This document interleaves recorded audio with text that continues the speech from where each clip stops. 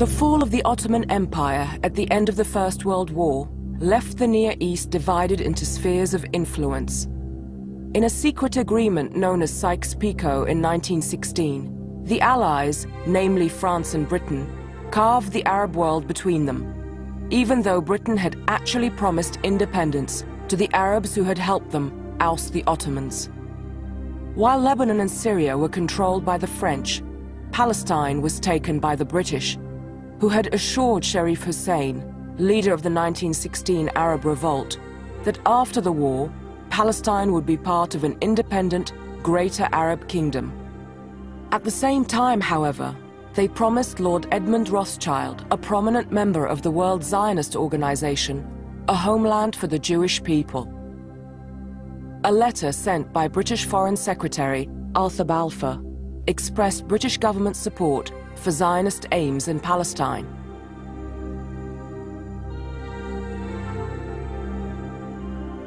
One of the key motives behind this conflicting British policy rested on the importance of Palestine as a strategic point on the land and sea routes to India, and as the last stop of pipelines from the rich oil-bearing regions of the Middle East. The 1917 Balfour Declaration brought about the single biggest crisis the Arab world has faced in the modern era. By the late 1920s, the rising number of settlers led to resentment and clashes. The Palestinians did not view these new European arrivals as immigrants, but as colonists. In the 1920s and 30s, as the numbers of Jews reached new peaks, the Palestinians, supported by their Arab neighbors, began their resistance. There were armed clashes, both with Jewish settlers and with British troops. The culmination of the Palestinian resistance happened in the famous uh, revolt of 1936-39. This is a, a, a, period which is usually put in the shade, but that was the climax of the uh, tragic dilemma of the Palestinian people where they had to fight two enemies. They had to fight British mandate and they had to fight Israeli settlement. So you have in 1936, 1939, a general strike of one year. You have a rural guerrilla warfare of three years, which led the British to reconquer Palestine with 30,000 British troops.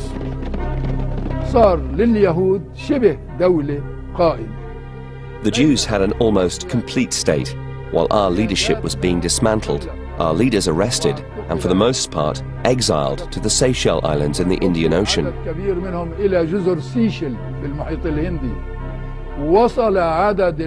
1938, the number of detainees reached 50,000. Their detention was to be reviewed after two years. It was the most violent year of our struggle. The first time the Arab regimes in, yani, introduced themselves into the Palestinian uh, conflict was in that year. Those were pro-British governments. And uh, rather than simply uh, take a position of solidarity with the Palestinians against the British, chose the role of uh, mediation. Now, on the other hand, you have the exact opposite uh, reaction in which uh, many volunteers would start flocking in what uh, uh, will become will become known as Jaish al-Inqaz, the Salvation Army, and fighting with their Palestinian brethren. By the end of the Second World War, the British mandate began to collapse. The situation worsened when 100,000 Jewish survivors of the Nazi death camps found their way illegally into Palestine. Various plans for solving the Palestinian problem were rejected by one party or the other. One Arab leader, however, came up with his own solution. So the Zionists has, had two, two plans. First, how to expel the majority of Arabs in their part, in their Jewish part. And second, what to do with the Arab uh, part. Would, would they accept a Palestinian uh, state in it. Of course, for them, anathema was a Palestinian state. So it was decided to offer that to King Abdullah, and that predetermined a lot uh, in the conduct of the war. King Abdullah of Jordan, aware of the imminent establishment of an Israeli state, was the only Arab leader to accept the 1947 United Nations partition plan for Palestine.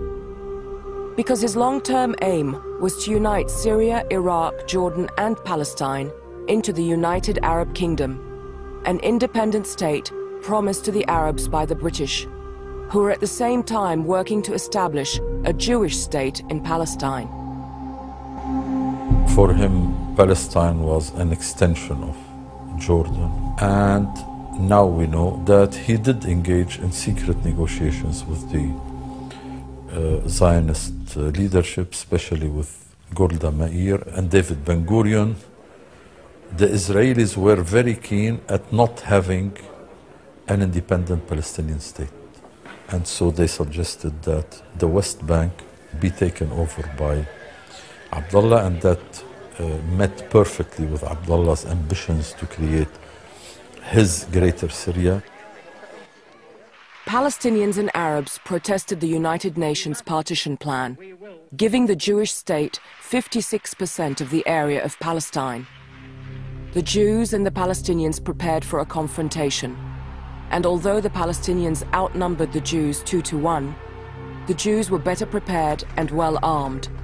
They had a semi-independent government led by David Ben-Gurion, and their military, the Haganah, was well trained and experienced. The Palestinians, on the other hand, had never recovered from the Arab revolt against the Ottomans, and most of their leaders were in exile. In November of 1947, the United Nations voted to divide Palestine in two. The British accepted and made plans to withdraw. But the Palestinians and the Arabs rejected the resolution. Of course, they refused it because they believed that they had the right to, to the whole of Palestine. But uh, nobody thought in terms of if we take over two thirds of Palestine, then it would be much easier to claim the other third. On May 14, 1948, the day before the British withdrawal, the Jewish Agency proclaimed the foundation of the State of Israel. The next day, as the last troops were leaving, war broke out. An Arab army was sent to defend the Palestinians. But some Palestinians were worried that several of those Arab troops, specifically the Jordanians, might be there to annex parts of their country. Jerusalem in particular was a concern. The Jordanians, under the command of 38 British officers, fought only in the United Nation areas allotted to the Arab state, including Jerusalem. While the Syrians, Egyptians, Iraqis and Lebanese invaded the territory allotted to the State of Israel.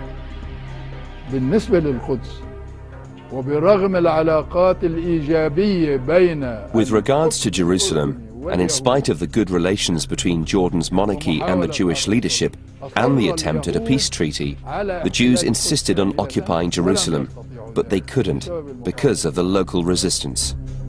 Later on, the Jordanian army intervened, and we had the capacity to move from defense to attack, but the British forbade the Jordanian army from doing so. هذا كان ممنوع من قبل القيادة البريطانية للجيش الأردني After nine months of fighting, the Arabs were defeated.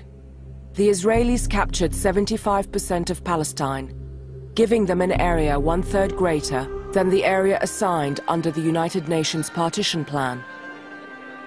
The remainder of Palestine, namely the West Bank, was controlled by Jordanian forces. One of the main issues which uh, are rarely uh, raised concerning the Arab defeat is the pre-arranged war, if you want, between King Abdullah and the Zionists. So both yani, the Zionists and King Abdullah offset uh, the creation of two states. Uh, that's relevant at present because after uh, some 60 years, we're still talking about the same issue.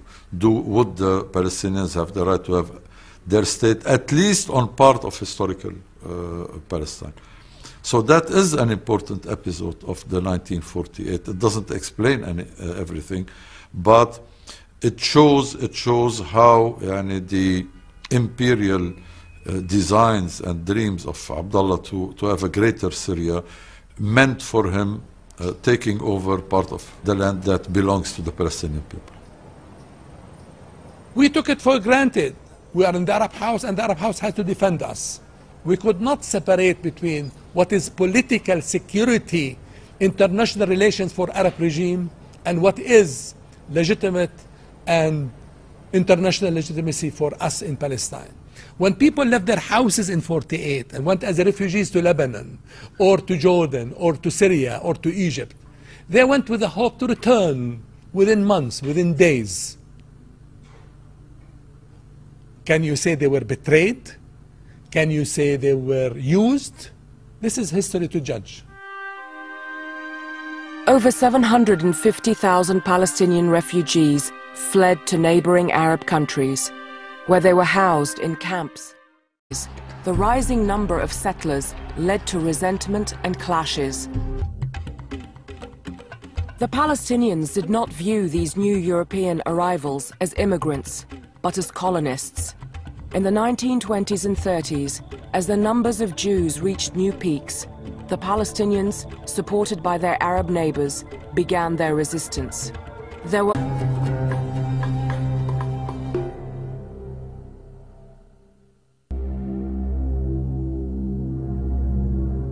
The fall of the Ottoman Empire at the end of the First World War left the Near East divided into spheres of influence. In a secret agreement known as Sykes-Picot in 1916, the Allies, namely France and Britain, carved the Arab world between them, even though Britain had actually promised independence to the Arabs who had helped them oust the Ottomans. While Lebanon and Syria were controlled by the French, Palestine was taken by the British who had assured Sharif Hussein, leader of the 1916 Arab Revolt, that after the war, Palestine would be part of an independent, greater Arab kingdom. At the same time, acting British policy rested on the importance of Palestine as a strategic point on the land and sea routes to India, and as the last stop of pipelines from the rich oil-bearing regions of the Middle East. The 1917 Balfour Declaration brought about the single biggest crisis the Arab world has faced in the modern era. By the late 1920s, however, they promised Lord Edmund Rothschild, a prominent member of the World Zionist Organization, a homeland for the Jewish people. A letter sent by British Foreign Secretary Arthur Balfour expressed British government support for Zionist aims in Palestine.